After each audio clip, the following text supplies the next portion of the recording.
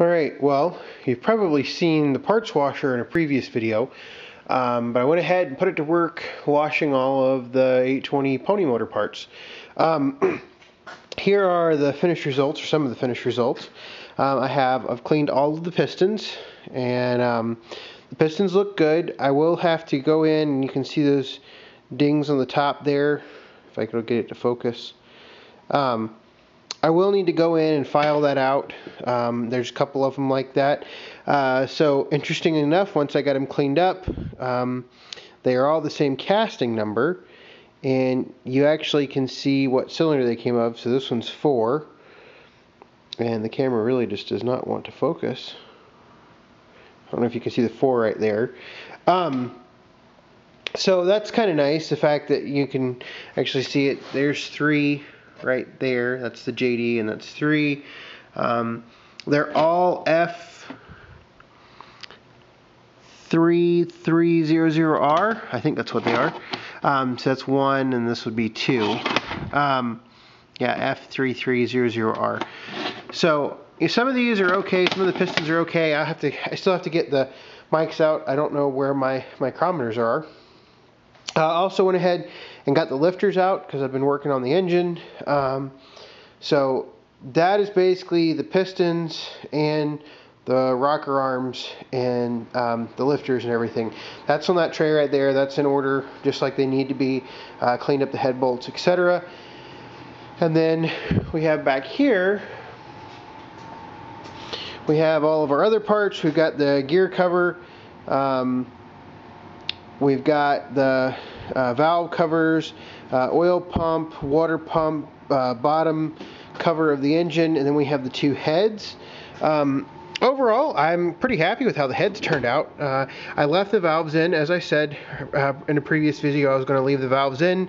Um, and just because I don't, I don't want to fool with the valves really. Um, now, obviously, with the low compression, it makes sense to pull the valves out, um, but that's a risk I'm willing to take, so I'm going to leave the valves in for right now. Um, but overall, the heads look pretty good uh, after I got them cleaned up, and uh, yeah, I'm pretty happy with everything.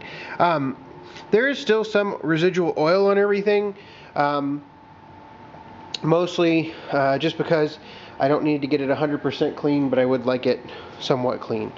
Um, so here's where we're at on the table. Um, here is the engine block. I've got it. I've got it a lot cleaner than it was. Um, I think right now the, the hard part for this project is going to be the fact that I have to order a new hone. Um, the hone I have is not uh, does not go small enough. So I have to order a new hone for this. Uh, I'll get, and I also don't have any um, click gauges. I, I don't, I'll have to get my bore, bore gauge out.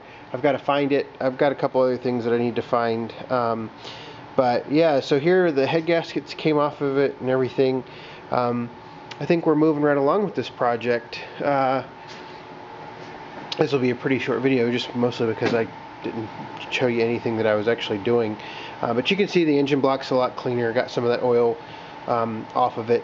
What I'm to, what I intend to do um, is I intend to, after I've honed the cylinders, I'm just going to set this whole engine block into the parts washer and just wash it uh, that way.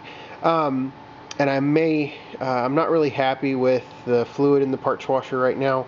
Uh, it's okay, it does a pretty good job, but um, it's not, uh, I think I'd prefer clean mineral spirits or something like that to really make sure I get all the debris out of this engine um, before I put it back together. So uh, overall, pretty happy with progress. Um, I like my parts washer. I think that'll come in handy. Uh, probably while I wait on my hone to come in, I need to order it. And I mean that shouldn't be more than 20 30 bucks I, I would hope. Um, while I'm waiting on that I'll probably the next video will be of draining the oil out of the crankcase on the tractor itself. Uh, that way I can start working on cleaning out the crankcase. Because um, I told you there was a bunch of uh, you know just sludge on the bottom of the crankcase so it'll make me happy to uh, clean all that out. So anyway hopefully um, I'm not falling too far behind here on my videos and making progress. So uh, thanks for watching.